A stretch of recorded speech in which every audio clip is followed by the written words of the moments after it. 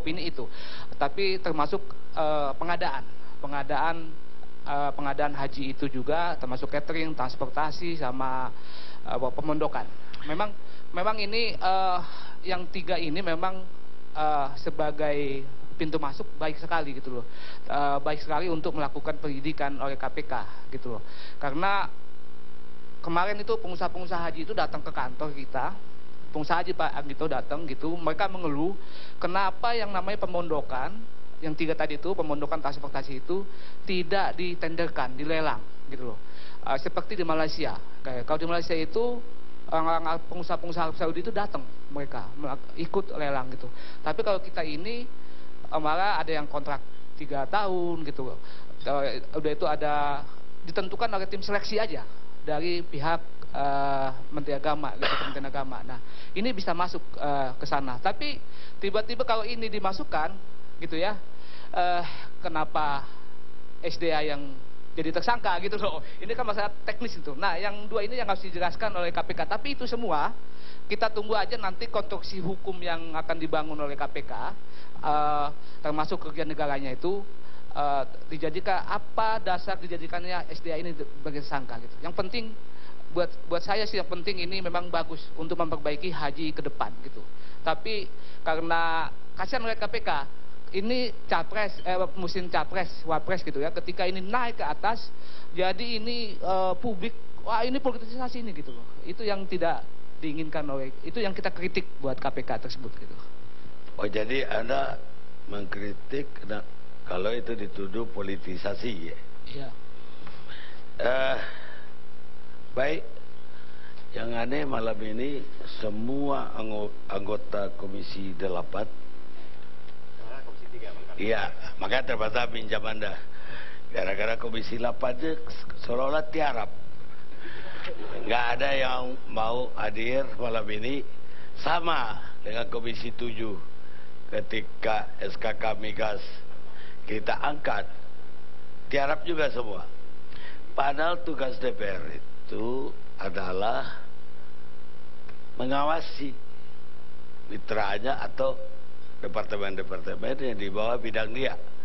Jadi kita kepingin malam ini mendengar apakah Kementerian Agama ini benar dan tidak salah ataukah menurut DPR memang dia sudah banyak curiga dari dulu. Jadi kebenarannya itu gimana sih? apa iya KPK yang benar? Tapi DPR-nya menghilang semua. Dan semuanya mengaku di luar kota. Tapi ini modus lama. Jadi eh sekarang saya kepingin dari ya Yani sebagai apa ya eh, anggota P3 kan SDA dari P3 bukan membawa ke politik tapi supaya berimbang ada dong suara dari P3 Bismillahirrahmanirrahim. Assalamualaikum warahmatullahi wabarakatuh. Bang Karni saya ini sama dengan Bang Ruhut anggota Komisi 3 dan belum pernah duduk di Komisi 8 Tuh, ya. ya? tapi kan Komisi Hukum. Ya. Artinya ini dari Komisi 8 masuk ke ranah hukum Kata bola Komisi 3 kita. Susah Bang Kardi, saya tidak ingin masuk yang sesuatu yang saya tidak kuasai secara mendetail.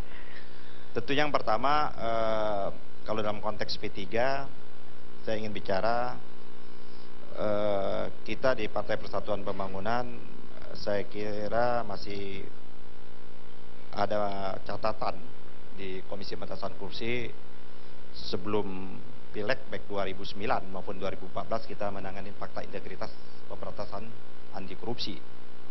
Itu catatan kita yang pertama. Yang kedua, tentunya kita menghormati proses hukum yang sedang berjalan ini, ya kan. KPK dengan tupoksi dan kewenangannya, ya kan. Sebagaimana tadi telah dikemukakan dan tidak dalam kangka politisasi seperti itu, tidak dalam kerangka prim politik. Nah, kalau kita berangkat dia tidak dalam prim politik, maka tentunya berangkat dalam prim hukum. Kalau dia berangkat dalam bingkainya hukum, tentunya fakta dan bukti yang menjadi dasar dan alasan menetapkan seseorang itu menjadi tersangka atau orang itu tidak menjadi tersangka. Nah, penjelasan apa yang dikemukakan oleh Pak Anggito dengan saya ingin masuk saja mulai dari sana dari dengan Pak Yasin saya kira dan Bang Karni juga sudah menunjukkan fakta dan data hampir semua orang menyatakan di Republik ini dikategorisasikan, dipersepsikan dan memang ada fakta bahwa Kementerian Agama ini dikategorisasikan salah satu departemen yang terkorup seperti itu. Terkorup. Terkorup seperti itu. Nah Pak Surya Dharma Ali ini saya tidak melakukan pembelaan dalam legal politik saya kan saya ini kan dianggap berseberangan dengan beliau itu. Ya kan saya ini salah satu kandidat ketua umum pada waktu itu. Jadi dalam konteks ini saya tidak melakukan pembelaan tapi saya ingin menceritakan apa yang adanya. Bahwa 2009 Pak Surya Dharma Ali masuk menjadi diangkat diberikan amanah oleh Pak SBY menjadi menteri suasana Kementerian Agama itu sebagaimana kita pahami carut marut sedemikian rupa sebagaimana dikemukakan itu dan itu Pak Surya Dharma sering mengatakan ini berat sekali untuk memperbaiki kondisi Kementerian Agama yang sudah memang berurat akar perilaku, attitude-nya dan berbagai macam persoalan yang ada di Kementerian Agama tersebut. Nah, ada usaha dan itikat baik yang saya kira yang dilakukan. Tadi Pak Yasin tidak menyebutkan sayangnya, termasuk Pak Anggito usulan nama ini juga kami juga perbincangkan pada waktu ini. Itu usulan juga keluar dari Pak Surya Dharma Ali tidak juga sekonyong-konyong nama itu muncul. Jadi Pak Surya Dharma Ali juga memberikan usulan baik Pak Anggito disebutkan maupun Pak Yasin. Kenapa dia memberikan usulan dua nama ini? Dalam rangka juga untuk memperbaiki Kementerian Agama ini. Ya kan? Dalam rangka pengawasan Pak Yasin kan pernah di KPK. Itu sebagaimana tadi dikemukakan juga. Pak Anggito juga sebagaimana dikemukakan. Problem haji ini problemnya cukup banyak Pak. Orang naik haji ini dari orang yang belum pernah naik mobil, dari orang yang sudah bolak-balik naik pesawat yang first class seperti itu. Ini problem. Problem haji ini tidak bisa kita simplikasikan, tidak bisa kita sederhanakan. Tapi itikat untuk memperbaiki itu saya kira nanti kita lihat 2000, 2014. Memang sayangnya, ini sayangnya proses berusaha dalam rangka perbaikan ini kan menjadi terhenti dan saya berharap ini tidak terhenti Pak gitu. Ya kan ini kan di, kalau bawa bicara kayak ada ada bypass proses perbaikan itu dengan ditetapkannya Pak Surya Dharma Ali e, menjadi tersangka seperti itu.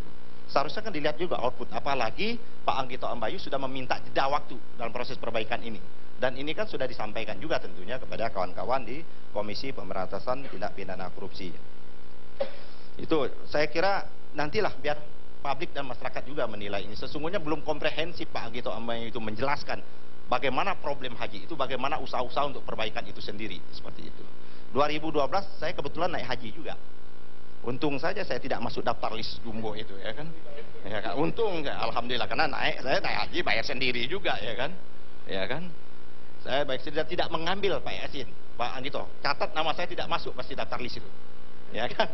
Saya tidak mengambil kota yang 200 ribu atau berapa. Saya dapil ngambil di kedutaan itu bang ada juga yang namanya kota selain dari kota ada visa juga yang diberikan juga oleh pemerintah Saudi.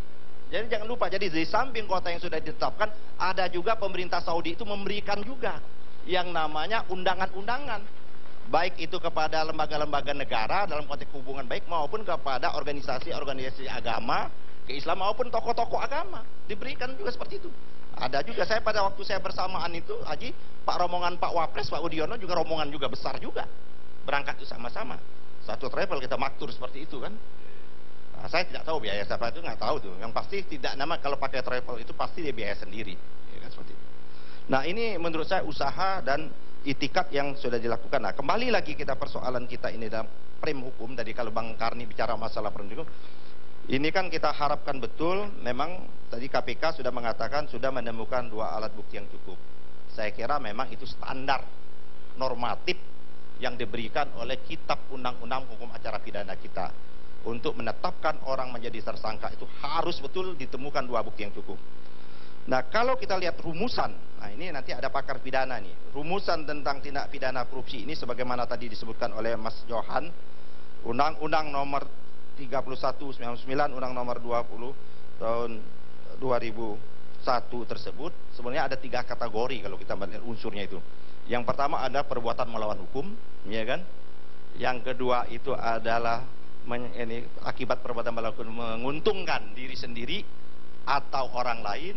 Yang ketiga, merugikan keuangan negara atau perekonomian. Menurut saya, perbuatan melawan hukum, perbuatan e, merugikan ini adalah aktor atau faktor atau variabel yang sangat penting sekali untuk menentukan peristiwa tindak pidana korupsi atau tidak korupsi. Nah, cuman masalahnya tadi kita kita juga mendapat penjelasan bahwa kerugian negara ini lagi dihitung, lagi di dihitung-hitung. Nah, oleh karena itu sesungguhnya Pak Anggito saya berikan betul, tapi coba minta audit juga kepada BPK. Ini kan lucu juga, kadang-kadang Kementerian Agama atau kementerian-kementerian lain setiap laporan BPK bagus juga, tapi di tengah jalan timbul bolong-bolong seperti ini.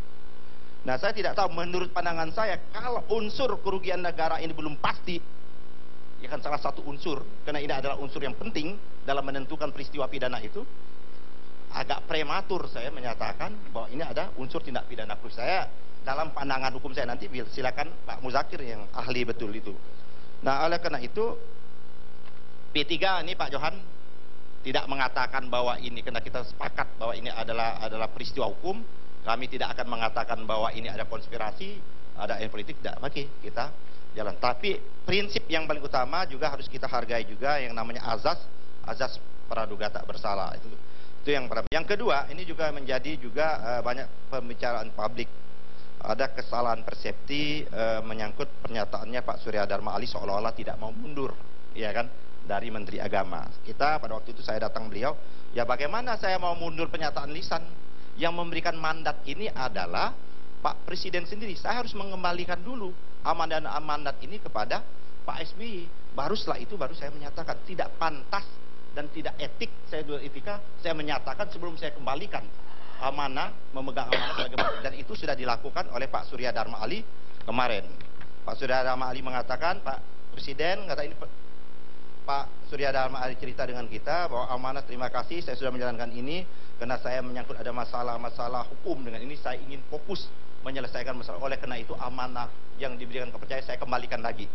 Presiden pada waktu itu ya sudah disampaikan juga oleh Menteri eh, Sekretaris Negara Pak Sudi ya menerima tapi meminta dalam satu dua hari ini tidak cukup dengan lisan dengan membuat surat pengunduran diri secara tertulis. Dan ini mungkin dalam satu dua hari ini Pak Surya Dharma Ali ingin melakukan. Jadi sama karena dia ingin fokus betul Pak Surya Dharma Ali. Dan ini juga tidak ada hubungannya uh, dengan Partai Persatuan Pembangunan. Konteks yang disangkakan Pak Surya Dharma Ali ini dalam konteks dia sebagai Menteri Agama, bukan dalam kapasitas dia sebagai Ketua Umum Partai Persatuan Pembangunan. Baik, saudara. Jadi artinya konteks sebagai Menteri Agama berarti konteks anggota kabinet. Karena itu saya minta jawaban dari Ruhut Sitompul.